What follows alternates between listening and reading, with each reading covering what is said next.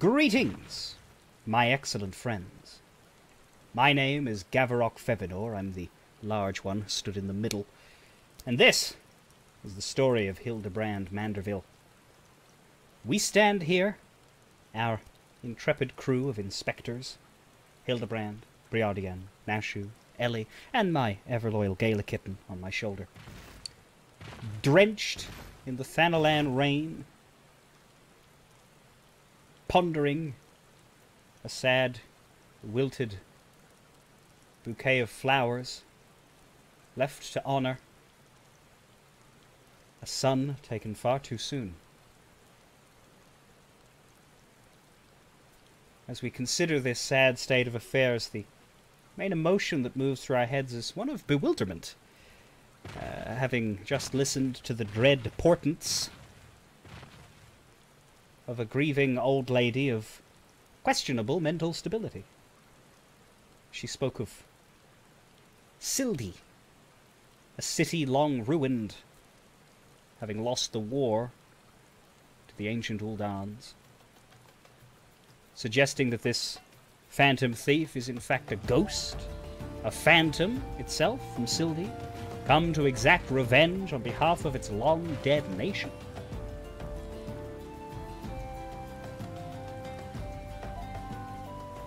I, for one, am shitting myself. Let's see what the others think.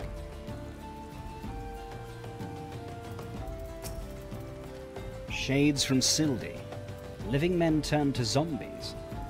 The old crone's lost not just her son, but her wits as well. Hildibrand is onto something. Or at least he thinks he is. Sibling strife. It's all becoming clear to me now.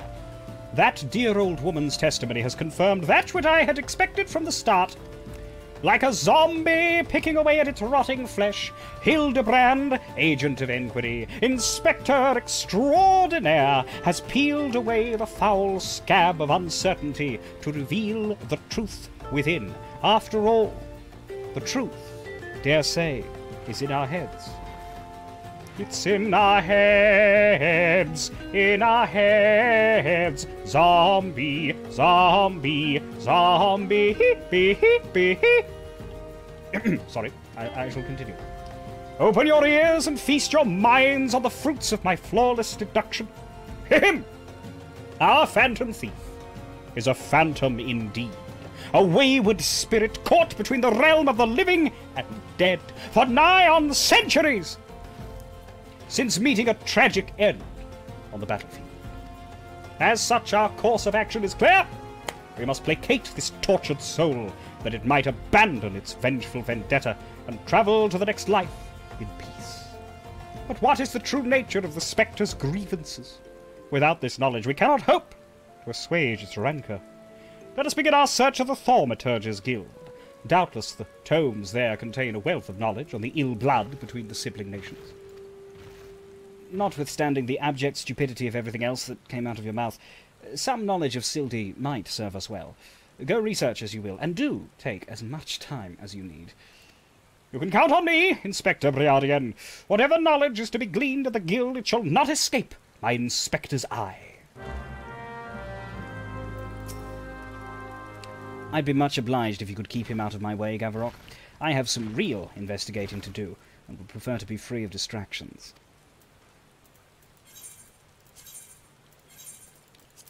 We shall follow Hildibrand to the Thaumaturges Guild. Not as a babysitter, but because we genuinely think he may be onto something.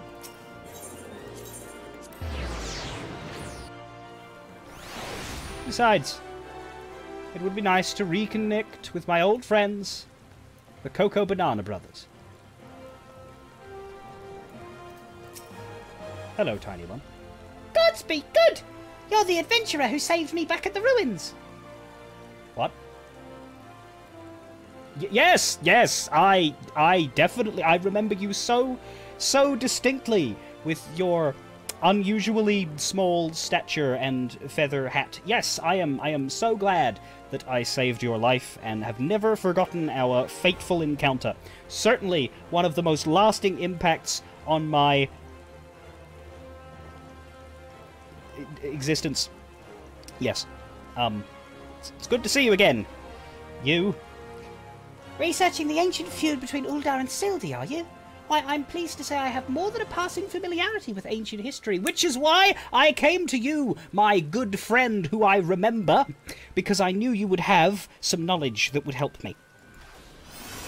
To understand the hi- history of sibling nations, one must go back further still, to the birth of their mother nation, Belah'dia.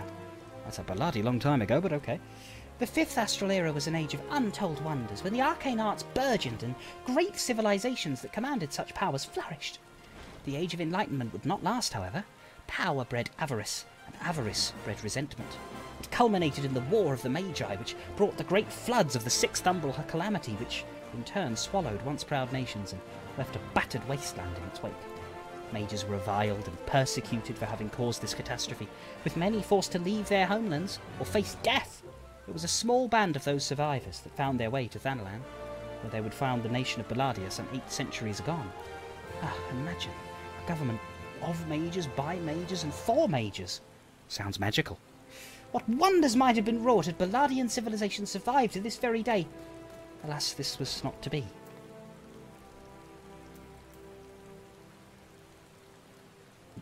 And? What happened next? Hello?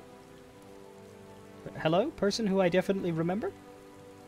Why, why, why are you just staring vacantly in the distance? Okay, thaumaturges are weird. Let's go inside.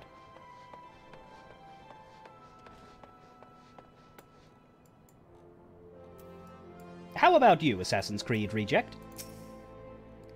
Greetings, traveller. You would learn of the war between Ul'dah and the fallen Sultanate of Sil'dih. It would be my pleasure to enlighten you. The two city-states coexisted for several generations until the bad blood between them boiled over, culminating in outright war. As you might deduce from the present state of affairs, Ul'dah emerged victorious, leaving its once proud sibling nation in smouldering ruins. As the histories tell it, the battles fought between the sister nations were the stuff of nightmares. In a desperate attempt to overcome Ul'dah's superior numbers, Sil'dihn alchemists devised a most horrific stratagem. Employing a frightful formula known as the Trader's Spurn, they brought their fallen warriors back as undead soldiers. Some theories have it that they even employed the potion on those of the living who were too weak or wounded to fight. Sends shivers up the spine just thinking about it now. Is it truly a crowning glory of our fair nation that our forebears were able to emerge victorious against these horrors? Zombies bad. You don't say. It's not every day someone comes to our halls to research Sil'dih. As a fellow student of history, though, I'm more than welcome to conversation. Belah'dian civilization flourished in relative peace until twin sons were born to the royal family. The two were fierce rivals, and when they came of age and their father passed, each one claimed that he was the rightful heir to the throne. With neither son willing to relinquish his claim, they agreed to split their kingdom in two, forming the twin nations of Ul'dah and Sil'dih. But not unlike the two proud princes, the sibling nations developed a penchant for rivalry.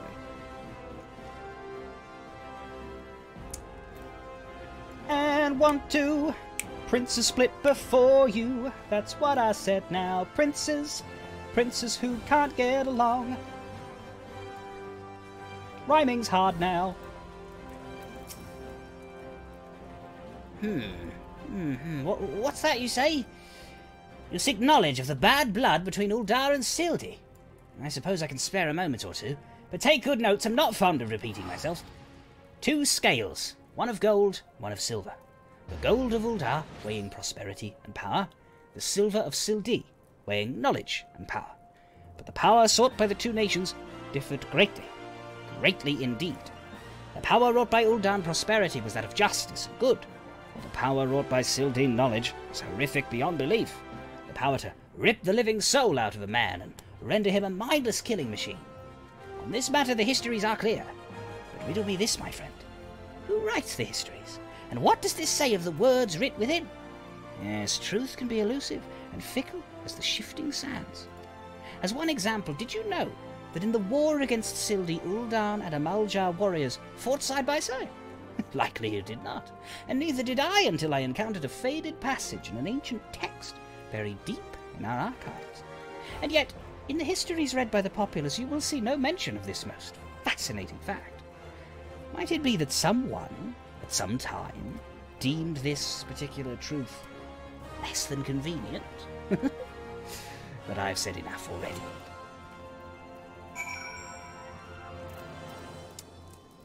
So to summarize, Ul'dah, the winners of the conflict were noble, just, fair, and true. Fighting honorably.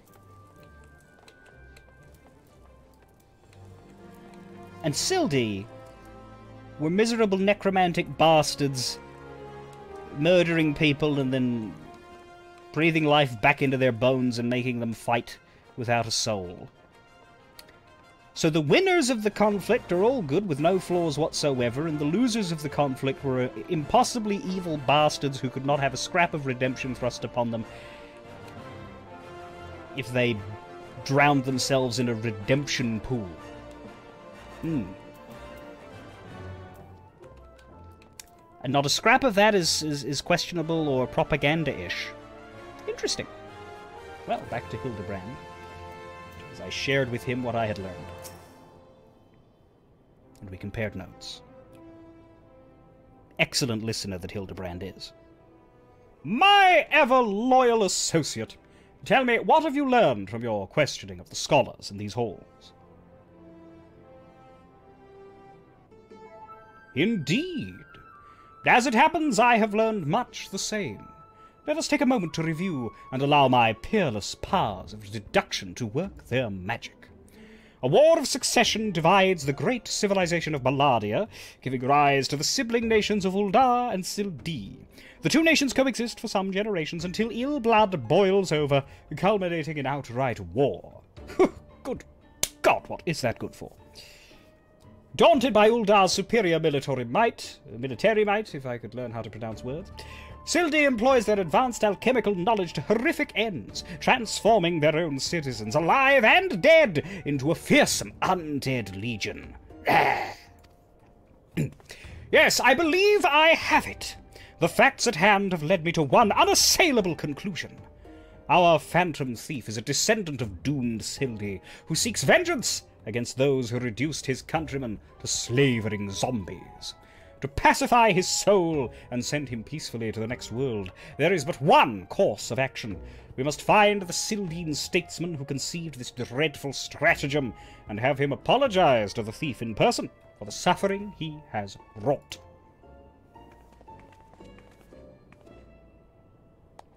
A brilliant plan. Perhaps you'd like to go find yourself a shovel and dig this statesman out of the grave himself? Leaving aside the nonsense of spirits and spectres, it appears increasingly likely that our quarry shares some link to Sil'dih.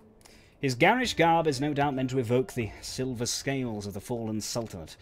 This Sil'dihn connection would also serve to explain the rare knowledge of Belah'dian relics our thief clearly possesses. But what of the murder victims? What common thread amongst them could have occurred the ire of our adversary? Few people in town spoke of a man sighted calling upon his victims in the past few days. Those who saw him said he had a most frightened air about him. Wait. Yes? It's coming to me. Of course! My keen investigator's senses ring out with a voice loud and clear. This man Miss Ellie speaks of just might know something! You really should stop thinking so hard. You're, you're like to strain a brain muscle. Miss Ellie, who is this man? And where might we find him? My sources identified the man as Guguria, a travelling merchant known to frequent Horizon. Should we pay him a visit? Hmm?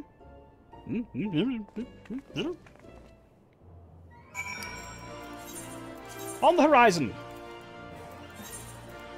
134 gil, which I will, of course, send the bill to Hildibrand. After all, I am his ever loyal associate, which means I am working for him officially now, which means that all of my expenses should come out of his wallet.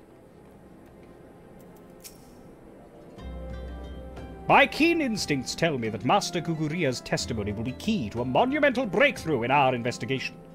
Yes, I shall employ the ancient Manderville art of parley to skillfully extract the information we require.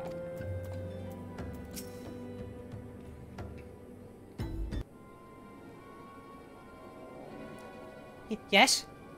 If you've got business, make it quick. My time's too valuable to waste chatting with every stranger who passes by. Forgive us, good sir. My name is Ellie, a reporter with the Mithril Eye. Never blinking or seeing, you know the rest. I was wondering if we could trouble you with just a few questions. Was it for love or money that you killed them? Yes, you, the thief of many faces. Me? A thief? What is this nonsense? I don't know who you are, but I ain't got the time or the patience for this mummery. Now, if you'll excuse me, an important client awaits.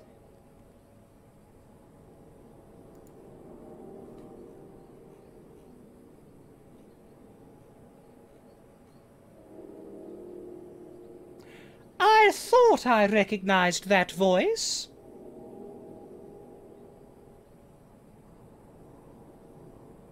Veteran viewers may be wondering just how it was that your intrepid storyteller was able to figure out which voice to give this character before even seeing her face or learning her name.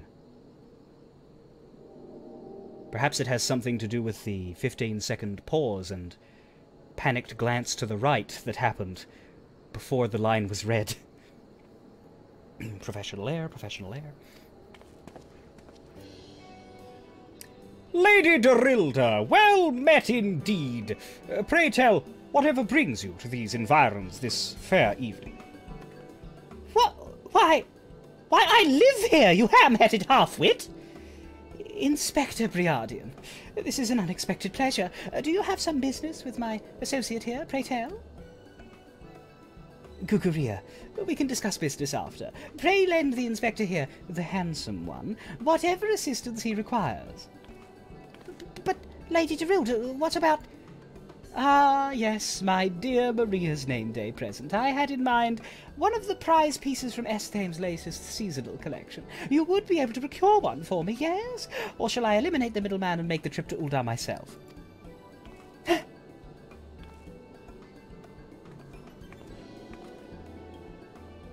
I'll say it just once more, Guguria.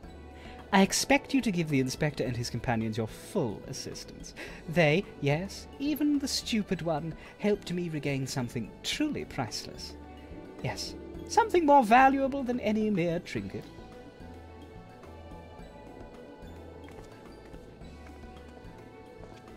Well, well, well, MVP to the Lady Dorilda. All right, all right, I'll tell you what I know. You didn't hear it from me, got it? I was looking into the killing on behalf of a client of mine. The thief's got himself some of that zombie dust, the trader's sperm, was it? Spurn, spurn, N. Very, important consonant there. And his cards speak of five victims. Got me to thinking. Sil'dih, five victims. Aye. The Arbiters of Truth. The Arbiters of Truth. Must confess I'm not familiar with that name. Aye, few would be, on account of them being something of a secret society and all. Influential personages of the Sultanate, you see, working from the shadows to keep false knowledge about the Ul'dah-Sil'dih conflict from reaching the ears of folk like you and me. False knowledge? Pray tell just what sort of knowledge might that be?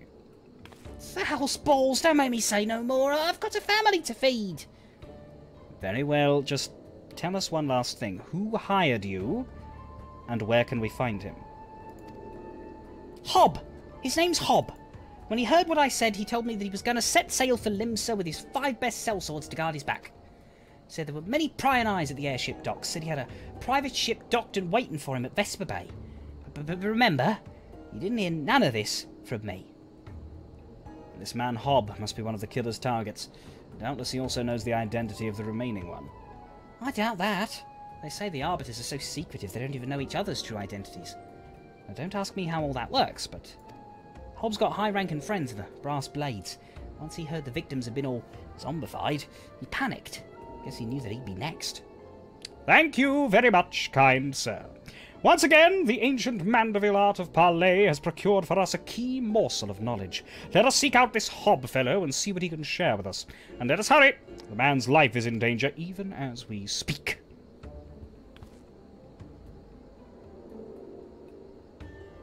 Or about his unlife?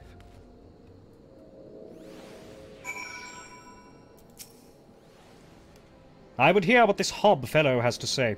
Come, my ever-loyal associate, let us away to Vesper Bay with all speed. Given that a speedy mount was necessary, the logical choice was the polar bear. As we took to the sky, not sparing a single moment of thought as to how exactly a polar bear attained flight capabilities. We sailed through the air in a westwards direction.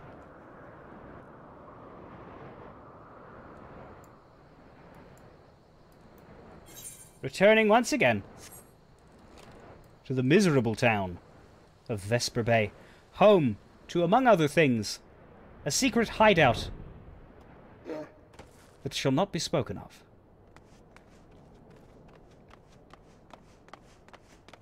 But before we arrived, we encountered something. M Master Hob, is everything quite all right? No, stand back, Ellie! Hunger! I hunger for your brains.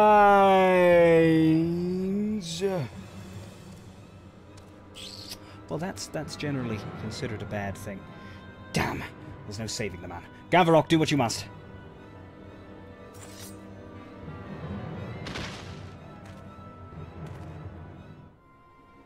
One brief murdering later.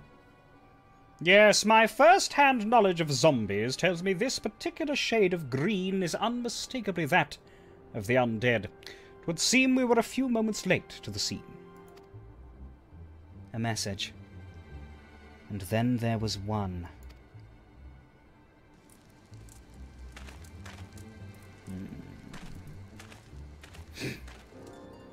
Unmistakable feeling of being watched. There it is again. Hmm? Is something the matter, the inspect? Is something the matter, Inspector? Indeed, Nashu, there is. Ever since I picked up the trail of the Phantom Thief, I've had this fleeting sense. A sense that someone, or something, is watching us. I must confess I knew where Hildibrand was coming from. I too often felt watched during my adventures. As though at all times there was a broadcasting view directed at me, capturing my face, my activities, my voice, everything about me, and sending it out to whoever cared to listen. The thief might be close at hand. We should be careful. For the moment, let us return and report our findings to Miss Phyllis. Secret society or no, knowing the identities of its members may yet lead us to the final victim. I too had best return to the Mithril Eye. Let's meet up again after. I'll see what new clues I can uncover in the meantime. You will do nothing of the sort, Miss Ellie. These streets are far too dangerous for you to walk alone. Inspector! Inspector! I'll go with her. If you insist, Nashu, then I give my leave. But pray be wary, not just of the thief, but of Miss Ellie. She has quite the temper, as we both know. I'm right here, you miserable wank... As Ellie began to say some words that are much too inappropriate for this broadcast, uh, we, we, we, turn our attention instead to Briardien. Miss Ellie, there is something I must tell you when this case is over. Be safe, and promise me that you will not attempt anything rash, as you did that time when the fiend took aim at my own life. Ah, yes, that that time, that that definite time in which no shenanigans were going on. Your life, Inspector? Ah, yeah, the Costa del Sol. Yes, that was quite the ordeal, wasn't it? I'll be careful. I promise. I eagerly await the day when I hear what it is that you would share with me. A secret vow? Consider my interest piqued as well, good Inspector. Now let us be off. Miss Phyllis awaits our report.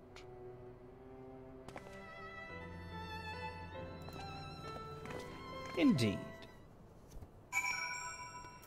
As usual, our reputation for getting things done and emerging triumphant has uh, been completely averted as we failed to prevent uh, the fourth murder and are practically no steps closer to apprehending the thief. But nonetheless, we're trying. And that is worth something, I hope.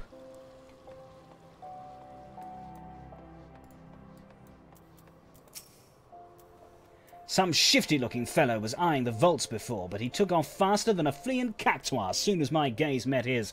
Aye, just like I cowed many a Garlean on the plains. Oh, oh, oh it's you.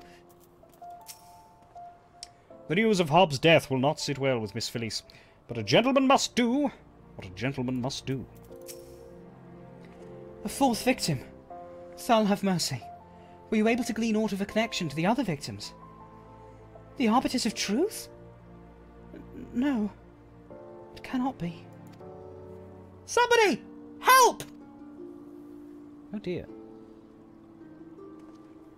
Miss Ellie? The voice came from the direction of the vault. We must hurry! The vault is not a good place for which uh, for, for there to be an emergency. But what was Ellie doing there? Miss Ellie, are you hurt? That man... I only thought to ask him a few questions. Before I knew what was happening, he was upon me. I could only... Bash his brains with a conveniently placed bottle of mead, it would seem. Ha ha! Remind me not to get on your bad side, Miss Ellie. That said, is Nashu not with you? She saw a figure lurking in the shadows and went off in pursuit before I could stop her. This man wears the armour of a Sultan sworn squire, yet his face is unfamiliar to me. Something is amiss. Oh my. The, thief of many faces?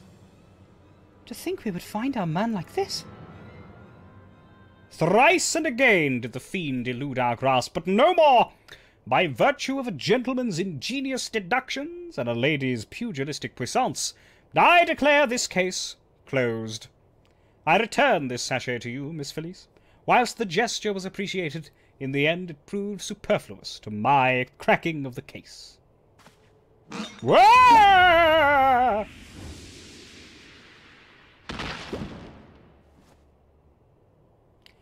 While you're at it, is there anything else of immense value that you'd like to wantonly destroy? Oh my. Incompetence wins the day! What? What is the meaning of this? Ingenious. A double disguise. Planted by the thief to throw us off the trail, no doubt. This is Guigu, one of my most capable men, uh, apart from his terrible name. I assigned him to guard the vault and outfitted him with an ample supply of demasking dust. It is inconceivable that the thief could so easily elude his grasp.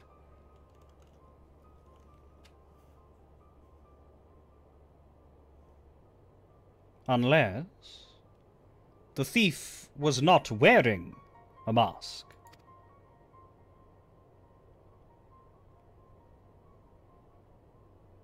Speaking of which, has anyone seen Miss Ellie? No. That's impossible. Of course. It all makes perfect sense. With the Phantom Thief to thank for her burgeoning readership and rise through the ranks of the Mithril Eye, Miss Ellie could not bear to face the possibility of her story of a lifetime coming to an end. Thus she hatched a plan to...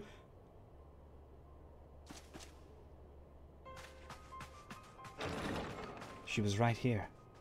She was right here, and she stole away while we were all...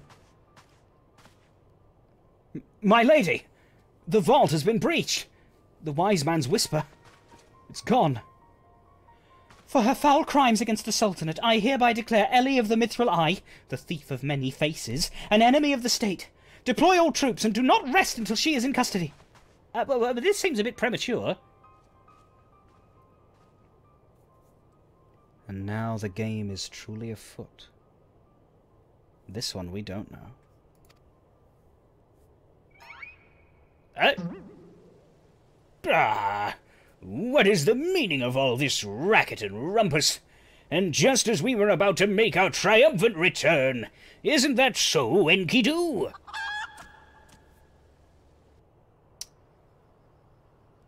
Well, now this is just an overwhelming amount of villainy.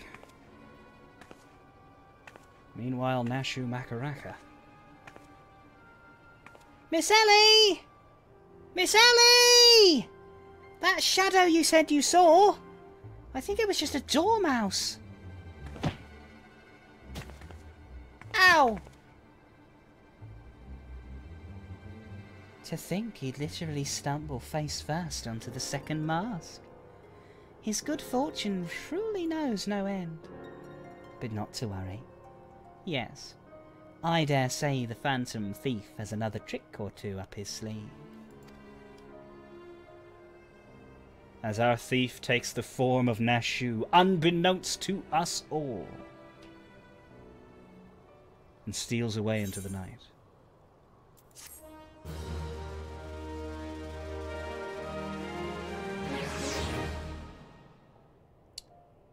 We enter an interesting sort of Columbo situation, you and I. As we know more now about what's going on than our intrepid characters, including myself, which is a strange sort of uh, fourth wall shattering one foot on either side of the door uh, uncomfortable dilemma. But nonetheless, we shall return and see what our good friend Nashu has in store for us. Fare thee well.